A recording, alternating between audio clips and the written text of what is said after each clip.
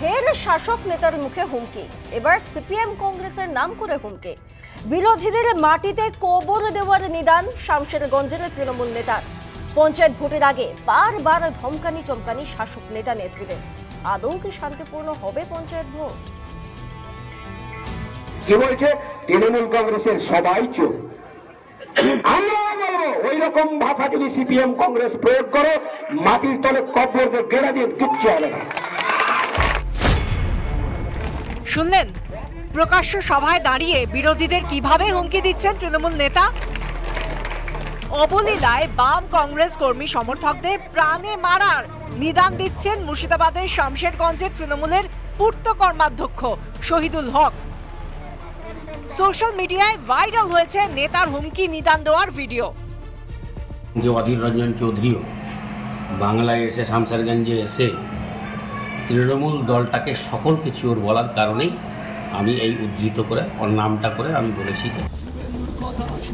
তবে শুধু শহীদুল হকই নয় পঞ্চায়েত ভোট যত এগিয়ে আসছে ততই তৃণমূল নেতা নেত্রীদের ধমকানি শাসানি চলছেই।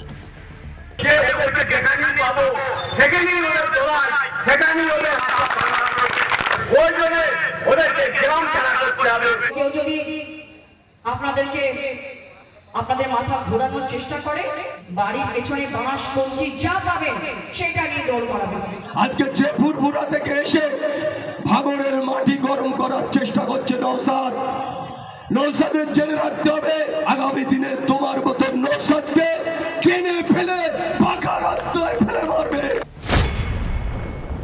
মানুষ তৃণমূলের পাশে নেই তাই উল্টো পাল্টা বকছে তৃণমূল নেতা নেত্রীরা। শাসক নেতার কুরুচিকর মন্তব্যের পাল্টা দিয়েছে বিরোধীরা। ঠিক করবে যে তারা লড়াই করে তৃণমূলকে সরাবে। কারণ তৃণমূল আমলে যে ঘটনা ঘটছে যে তৃণমূলও জানে যে যে পরিস্থিতি সৃষ্টি হয়েছে পশ্চিমবাংলায় তাদের হার নিশ্চিত। ভোটের আগে বাড়ছে রাজনৈতিক উত্তাপ ততই বাড়ছে ধমকানি জমকানি। এরপরও আদৌ কি পঞ্চায়েত ভোট শান্তিপূর্ণ হবে? মুর্শিদাবাদ থেকে সৌমিত্র রায়ের রিপোর্ট রিপাবলিক বাংলা